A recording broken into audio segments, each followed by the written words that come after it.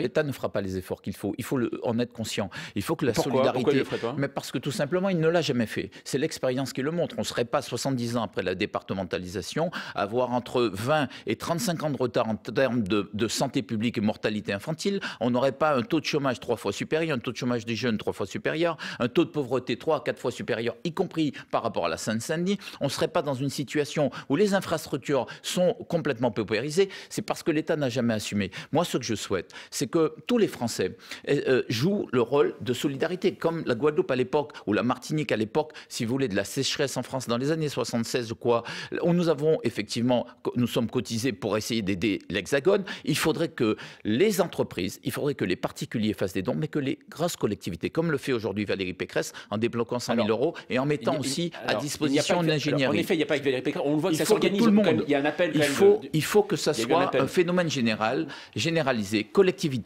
euh, citoyen euh, et l'État.